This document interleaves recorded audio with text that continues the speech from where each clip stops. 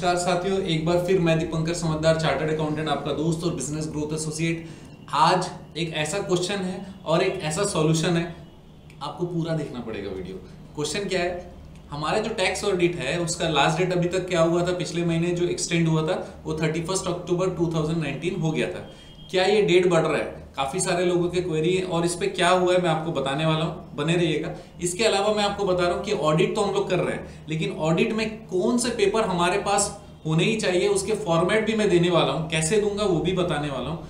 और वो फॉर्मेट क्यों ज़रूरी है, कैसे क्लाइंट को भी बचाता है और सीए या अकाउंटेंट को भी बचाता है, ये चीज़ ध्यान से देखिएगा। दोस्तों, अगर आपने अभी तक सब्सक्राइब नहीं किया है तो सब्सक्राइब तुरंत कर लीजिए और बेल बटन दबा दीजिए ताकि जब जब मैं यूजफुल वीडियो बनाते चलूँ, आपके पास ज़रूर पहुँच जाए। और लाइक शेयर करना मत भूलिएगा। आप अच्छे से जानते हैं कि मैं सारे कमेंट्स का जवाब ज़रूर देता हूँ। तो दोस्तों, शुरू करते हैं अपना वीडियो मैं फिर से बता दूँ, मैं बताने वाला हूँ कि डेट और बढ़ेगी कि नहीं बढ़ेगी। लेकिन उससे पहले मैं आपको बता रहा हूँ कि कौन से पेपर ज़रूरी हैं। ऑडिट में जब टैक्स ऑडिट हम करते हैं तो थ्री सी ए या थ्री सी बी लगता है। इसके मैंने वीडियो में बताया आपको थ्री सी ए कब लगेगा? जब अदर एक्ट स्पेशल एक्ट है, जैसे कंपनीज़ एक्ट या कोई दूसरा एक्ट है तो थ्री सी ए लगने वाला है। थ्री सी बी कब लगेगा? जब कोई स्पेशल एक्ट के अंतर्गत नहीं आएगा तो थ्री सी बी होने वाला है। थ्री सी डी सारे लोगों को लगेगा। इसके अलावा फाइनेंशियल स्टेटमेंट हमारे three C A three C D के साथ में लगे रहने वाले हैं। इतना हमारा हो गया कॉमन डॉक्यूमेंट ये डॉक्यूमेंटेशन तो होता है। लेकिन कोई भी सीए या अकाउंटेंट या फिर बिज़नेस ओनर को क्या चीज़ें रखनी चाहिए?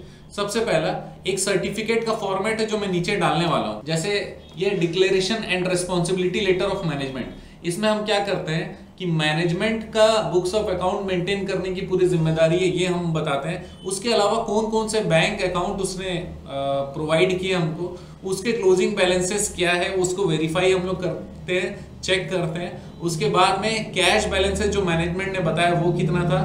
क्लोजिंग स्टॉक जो मैनेजमेंट ने बताया था, और बताया था का मतलब बुक्स ऑफ़ अकाउंट में होगा, वो कितना था? और बुक्स ऑफ़ अकाउंट पूरा मेंटेन और बनाया किसने? मैनेजमेंट ने। और ये सारी चीज़ें ऑडिट के लिए या अकाउंटिंग के लिए किसने प्रोवाइड किया?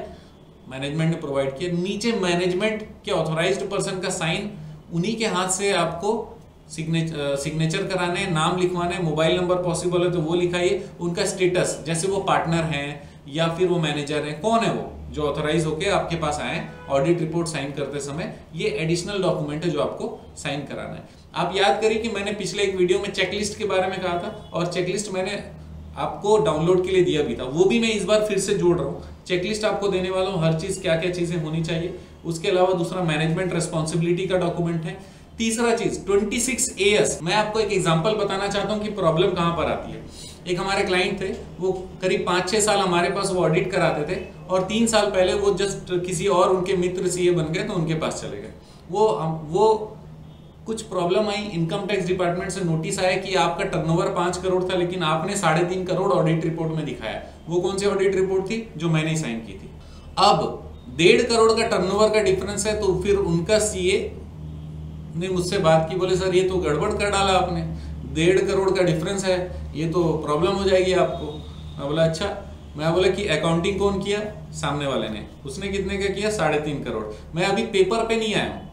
लेकिन सबसे पहले मैं आपको बता रहा हूँ अकाउंटिंग किसने किया? सामने वाले ने। बिल्स किसके पास थे? सामने वाले के। बिल कितने के थे? साढ़े तीन करोड़ के। तो डाले कितने गए साढ़े तीन करोड़ के राइट अब हमने भी ऑडिट में साढ़े तीन करोड़ डाला।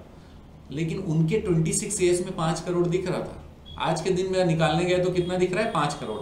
तो मैंने भी अपनी फ़ाइल से निकाला ट्वेंटी सिक्स ईयर्स जिसमें था साढ़े तीन करोड़, और उसमें क्लाइंट के सिग्नेचर भी थे। इतना बोलते ही साथ वो मामला खत्म। मेरे तरफ़ से उठ के अब मामला किसके पास चले गए? क्लाइंट के पास। क्योंकि अब क्लाइंट समझेंगे कि उनको कंपनी से पूछना पड़ेगा। उस डेट में जब ऑडिट हुई है, तब साढ़े तीन करोड़ का टर्नओवर था। बाद में डेढ़ करोड़ का टर्नओवर किसने ऐड किया? कंपनी ने ऐड किया। ये गलती क्लाइंट की भी नहीं है। कई बार क्या होता है कॉन्ट्रैक्टिंग बिज़नेस में बिलिंग भी कंपनी ही करवाती है अपने तरफ़ से। इन लोग अनऑर्गेनाइज कॉन्ट्रैक्टर होते हैं। और अपने मन से उन्होंने डाल दिया।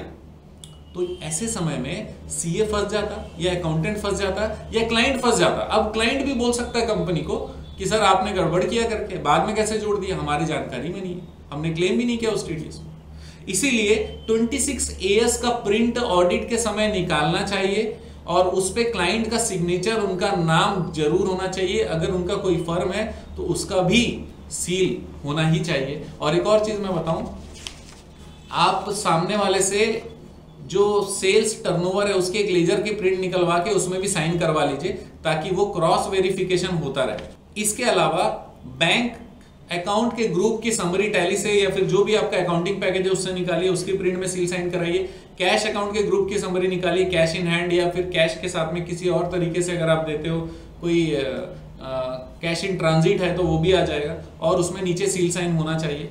हम संड्री क्रेडिटर्स जो अमाउंट है, उस टोटल अमाउंट का भी एक सर्टिफिकेट लेते हैं कि आपने लिस्ट दिया, उसमें टोटल सर्टिफिकेटर इतने हैं इसके अलावा कोई भी दूसरा नहीं है बुक्स ऑफ़ अकाउंट में यही दिख रहा है। और संड्री क्रेडिटर के लेजर की भी प्रिंट निकालते हैं, उसमें भी सील साइन कराते हैं। डेटर्स मतलब जिनसे हमको पैसे लेने उसकी लिस्ट की प्रिंट निकालते हैं, उसमें भी क्लाइंट की साइन कराते हैं। और हम एक रेस्पॉन्सिबिलिटी स्टेटमेंट डेटर का भी लेते हैं कि आपने हमको इतना बताया बुक्स ऑफ़ अकाउंट में इतना है। इसके अलावा अगर कोई भी नया जानकारी अगर आता है तो उसके फ़र्स्ट एंड फोरमोस्ट जिम्मेदार आप रहोगे कि वो जानकारी आपने कैसे दी नहीं ऑडिट के समय में। एक और बहुत इंपॉर्टेंट चीज़ है बुक्स ऑफ़ अकाउंट से प्रोविजंस प्रोविजंस आप समझते हैं जो अमाउंट ड्यू था लेकिन हमने अभी तक पे नहीं किया, वो प्रोविजंस का लेजर निकलवा के साइन करवाना ज़रूरी है। प्रोविजंस में क्या क्या चीज़ें होती है? जैसे आपका accounting charges payable audit fees payable electricity expenses payable legal fees payable जो भी पेबल खर्चे हैं, वो पेबल प्रोविजंस में आता है। प्रोविजंस वाले लेजर को निकाल कर भी साइन करवा लीजिए। इसके बाद में बहुत इंपॉर्टेंट चीज़ पे आ रहा हूँ। अनसिक्योर्ड लोन के लेजर्स पूरे निकालिए।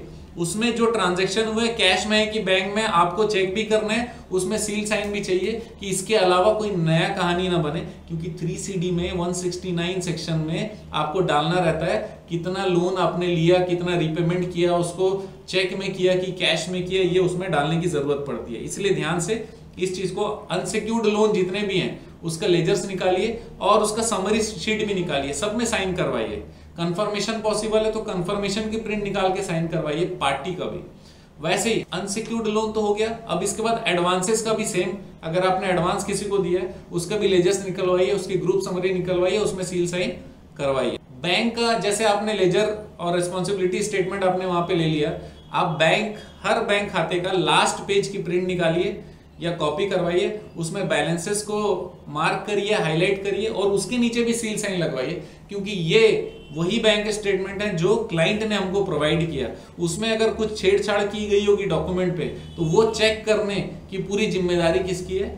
क्लाइंट की है। तो दोस्तों क्या क्या चीज़ें करने की ज़रूरत है? एक बार रिवाइज करा देता हूँ। सबसे पहला, आपको तो चेकलिस्ट में साइन कराना पड़ेगा। दूसरा, आपको 26 सिक्स लेना पड़ेगा। तीसरा, आपको कैश और बैंक की रिस्पॉन्सिबिलिटी स्टेटमेंट लेनी है। चौथा मैनेजमेंट ने बुक्स ऑफ़ अकाउंट बनाया, उसकी रिस्पॉन्सिबिलिटी स्टेटमेंट लेनी है।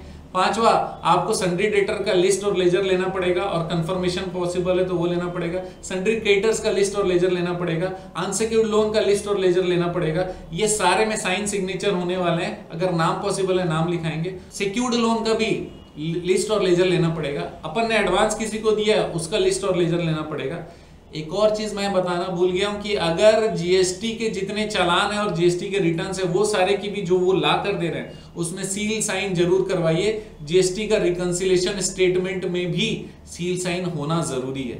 इतने सारे डॉक्यूमेंट इसके अलावा अगर कोई चीज़ भी आपको लगता है कि ये कैलकुलेशन या ये ट्रीटमेंट सही नहीं है, या फिर उसके बारे में वो नया है उस अकाउंट बुक्स ऑफ़ अकाउंट में तो उसको भी कहीं ना कहीं पे मेंशन करिए। बहुत ज़रूरी है ऑडिट के समय जितनी चीज़ें मैंने आज बताई, बहुत महत्वपूर्ण वीडियो सर इसको ज़रूर देखिए। और एक चीज़ मैं बता दूँ, क्योंकि रिटर्न फाइलिंग आराम से हो रही है और क्योंकि कोई भी रिप्रेजेंटेशन अभी इनकम टैक्स डिपार्टमेंट के पास जा नहीं रहा तो फिर हमारे लिए ये चीज़ पक्का है कि डेट नहीं बढ़ने वाला, किसी भी हालत में डेट नहीं बढ़ने वाला। आपको जल्द से जल्द काम करना पड़ेगा, दिवाली के अंदर में सारी चीज़ें निपटानी पड़ेगी, हमारी ज़िम्मेदारी है। आपको टैक्स ऑडिट से रिलेटेड कुछ भी डाउट होता है, आप तुरंत कमेंट में डालिए, मैं तत्काल जवाब देने वाला हूँ। और आप जानते हैं मेरा मिशन है, हमेशा आपको ज़रूरी इंफॉर्मेशन समय पर देना, जो होने वाला है वो भी, और जो हो सकता है वो भी। बहुत बहुत धन्यवाद, बने रहिएगा मेरे साथ।